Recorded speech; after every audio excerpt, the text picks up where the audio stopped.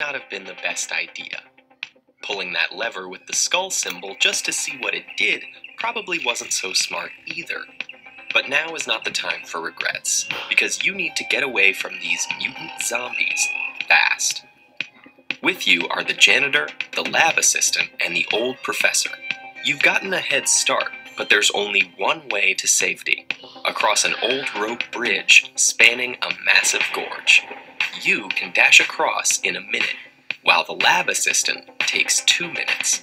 The janitor is a bit slower and needs five minutes, and the professor takes a whole ten minutes, holding onto the ropes every step of the way. By the professor's calculations, the zombies will catch up to you in just over 17 minutes. So you only have that much time to get everyone across and cut the ropes. Unfortunately, the bridge can only hold two people at a time.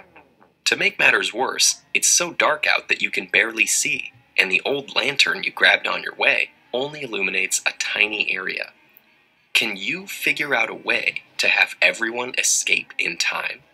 Remember, no more than two people can cross the bridge together.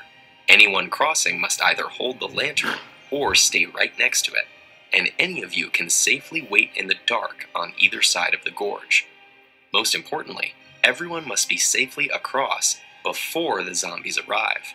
Otherwise, the first zombie could step on the bridge while people are still on it. Finally, there are no tricks to use here.